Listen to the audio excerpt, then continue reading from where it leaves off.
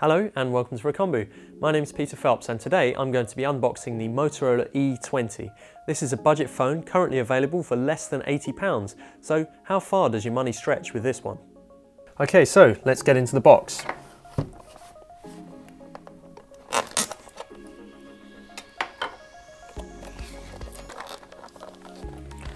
So right at the top of the box here, we've got the device itself, the Moto E20. I'll just tip that out and put it to one side for now.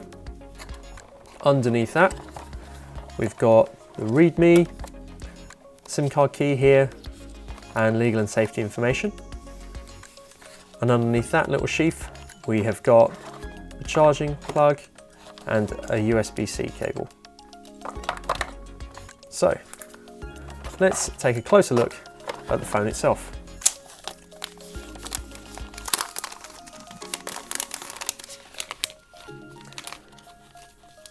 Now as you can see, the rear of this device has an almost scaly feel, um, thanks to these sort of hexagonal shapes that almost make like a honeycomb effect as it catches the light.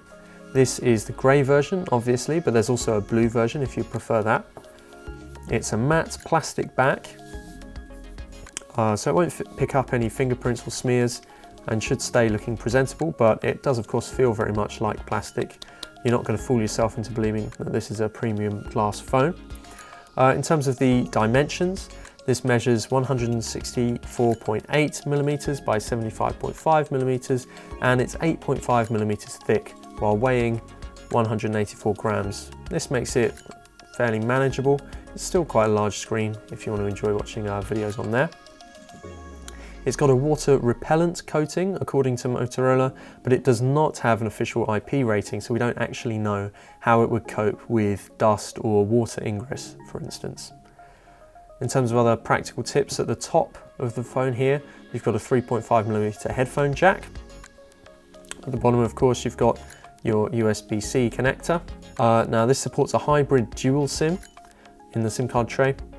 And despite the sides and the back being plastic, the front of, is of course made out of glass. And we've got a little rear fingerprint scanner here with that classic Motorola M logo. It's fairly unmistakable. This small camera module at the top houses two lenses on the back and the flash. The main lens is a 13 megapixel f over 2.2 uh, lens that you've got there and it can take video quality of uh, 1080p at 30 frames per second. Its accompanying uh, sensor is a 2 megapixel macro camera. Now in the past from Motorola I've rarely found that these actually come in useful, so you're really going to be counting on that main camera to do its job.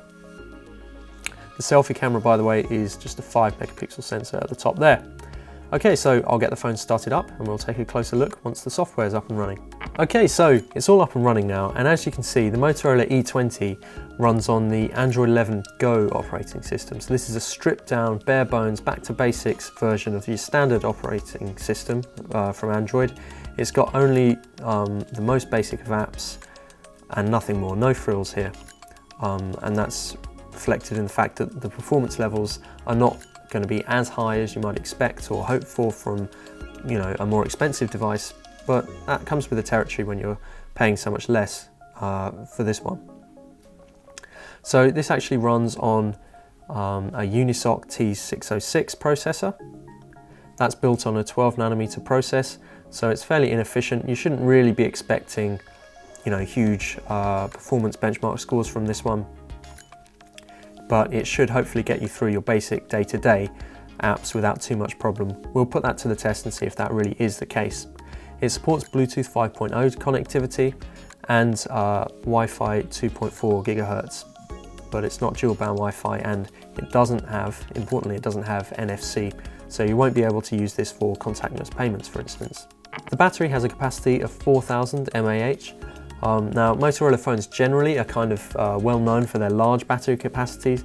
This is still decent for a phone of this price, but it's not up in the 5000 mAh range that you might have seen on other Motorola handsets. Again, that's just a compromise because of the lower uh, entry price for this phone. Now the screen is a 6.5 inch LCD panel, measures 6.5 inches diagonally across here, and it's got a resolution of 720p which is not particularly sharp and it does show, you can see the pixels uh, here and there. You haven't got completely smooth, sharp images on there. It has got a standard uh, refresh rate of 60 Hertz. I wouldn't have expected anything more at this price.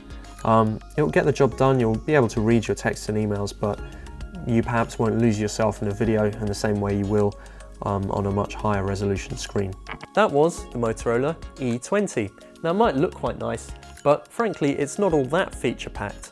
It has to be borne in mind of course that it's a budget phone at less than £80 currently, so if you're just looking for the basic functions of a phone, then perhaps it could suit you quite well, and you'll save a bit of money in the process, but otherwise you might want to look for something that's higher spec and yes, probably a higher price too. But let us know what you think in the comments below, and don't forget to subscribe for more video content from Recombu.